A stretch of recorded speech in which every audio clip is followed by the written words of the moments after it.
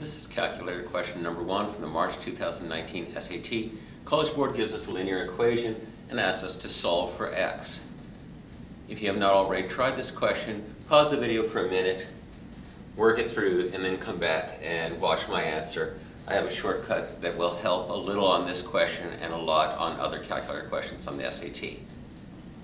I will be posting a playlist of similar videos from the SAT practice book from College Board but I don't have those up yet. But once they're available, I'll post a link to that in the description. So let's take a look at this. Anytime I have an equation with only one variable, on the calculator section, I'll go to y equals, enter the left side in y1, remember to use parentheses appropriately, 1 over 2x minus 1 over 6x. And that's my y1. y2 is 1. So I put the left side in y1, the right side in y2. Looking at the answer choices, the x value has to be between negative 4 and positive 6. So I use zoom 6 for the standard window. And the graph looks something like this. Find the point of intersection. Second trace on the TI-83 or 84. Choice 5 is intersect hit enter three times, and it says x equals 3, y equals 1. The x coordinate at the point of intersection is the variable when you solve for the equation that only has one variable. So the correct answer is x equals 3.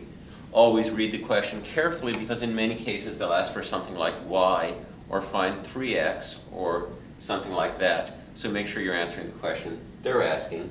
But this is a very fast, easy, low-risk way of finding the answer anytime you have an equation with only one variable. And that comes, often, comes up often on later problems. But let's do this algebraically also because this is supposed to be dealing with math.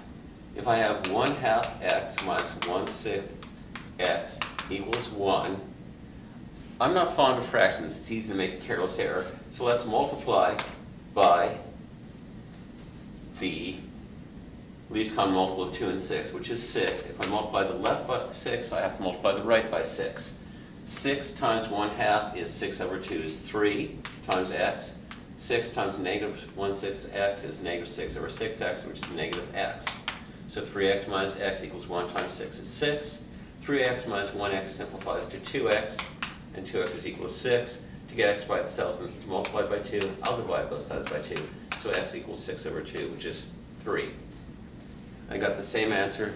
The algebra is not hard on this one, but it's worth practicing that calculator skill even if you got this right and even if algebra is easy, because there will be harder problems where putting the left side in y1 and the right side in y2 will fi find the solution much more easily than we can with algebra. Come back soon for my next math video. With math, there's always more.